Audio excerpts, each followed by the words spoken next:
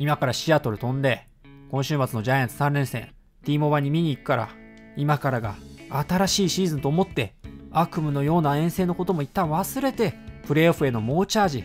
見せてくれよな。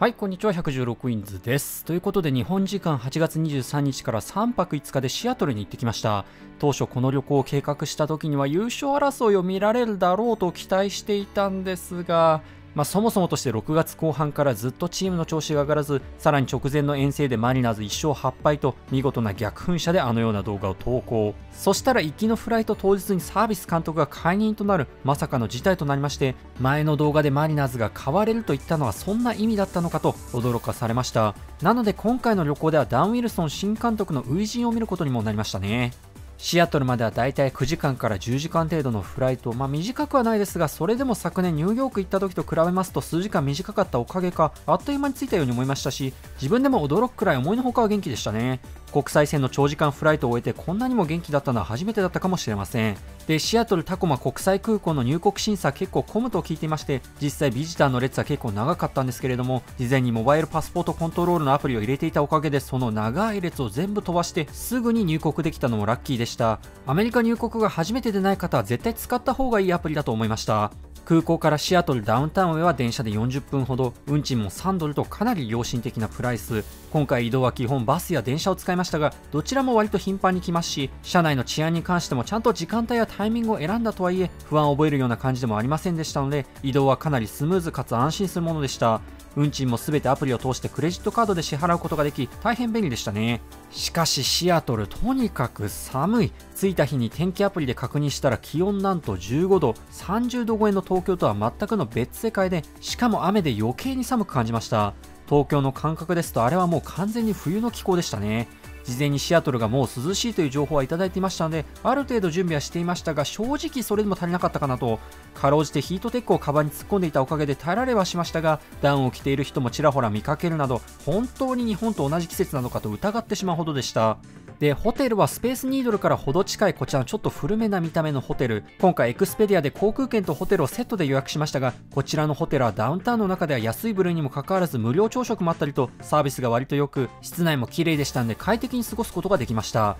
チェックインして少し休んだ後にいざ T モバイルパークへ日々画面越しに見ていますしなんなら昔何度も来たことがあるとはいえやっぱり本物を見ると来たなという気持ちになりましたね初戦の席からの眺めはこんな感じ今回ジャイアンツ3連戦のチケットは全て二次流通サイトのスタブハブで購入し円安なのもあってこの席だと1万8000円くらいしましたがまあこの眺めなら全く後悔ないですね。いい眺めで試合を楽しむことができました。夕飯はやっぱりメジャーリーグ観戦といえばのホットドッグ。T モバイルパークはいくつかお得な価格設定のものがありこの小さめのホットドッグですと4ドル。ちょっと食べたいなという感じの時にはちょうどいいサイズ感でした。入店時にクレジットカードをかざすタイプの無人の売店も多く、英語にもし不安があっても物を買うのに苦労はしなさそうです。肝心の試合の方は先発がカスティーヨ。間近で見る彼のボールは迫力がありましてジャイアンツ打線からもかなり三振は奪えていたんですけれども3本もホームランを浴びてしまったのが響いてしまって6回5失点。片やマリナーズ打線は平常運転といったところで7回までわずか2安打。レイリーにソロホームランが出たのがまだ救いでしたが8回裏5対1はまあいつものマリナーズなら普通に負け試合。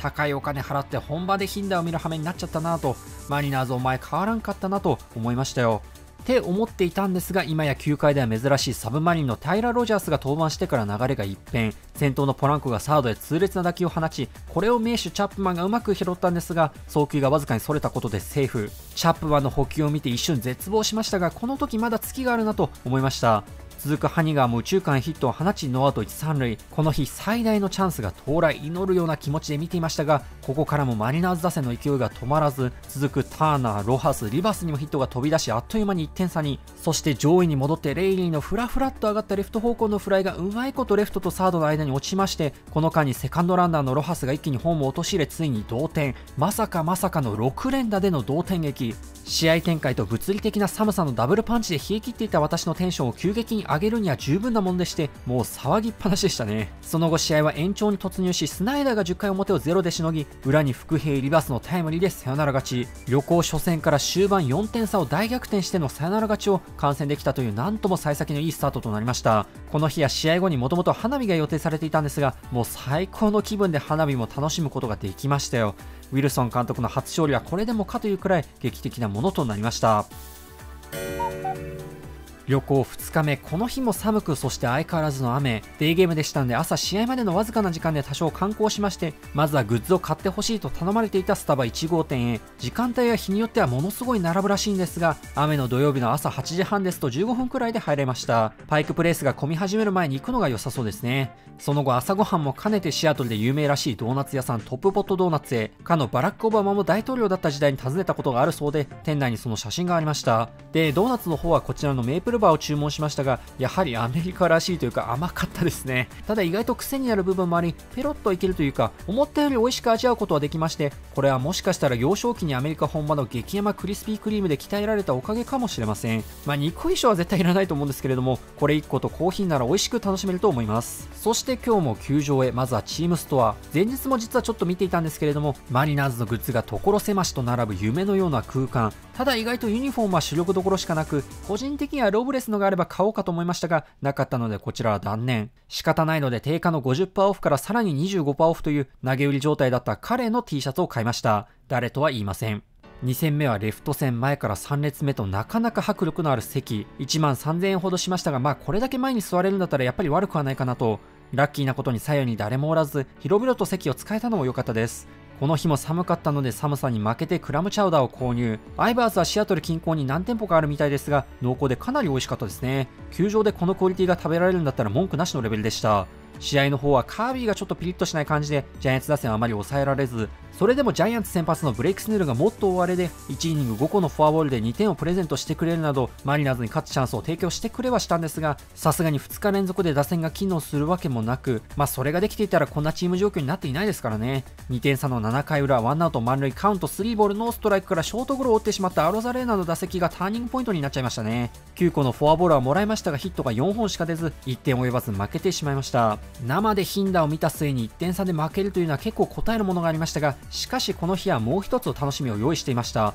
T モバイルパークのお隣ルーメンフィールドで夜に NFL のシーホークスとブラウンズのプレシーズンゲームがありましたのでそっちに早々と切り替えました。私にとっても初めての NFL 観戦でとりあえず雰囲気が味わえれば良いと思いまして3階席のかなり安いチケットを買いましたがまず会場の規模に圧倒されたというか3階席が正直恐怖を覚えるくらいの高さにあり壮観でした。そして雰囲気もかなり良かったですね。プレシーズンで満員ではなかったとはいえお客さんかなり盛り上がっていましたし3階席は屋根の下にあるせいか声が反響して余計に大きく感じました。これがシーホークスを支えるクラウドノイズかと特にこの試合パントリターンタッチダウンなどシーホークス側に結構ビッグプレーが出たおかげか NFL の盛り上がりの一端をより味わうことができました。なお同時にコンセッションの食べ物や飲み物の値段には震え上がりました。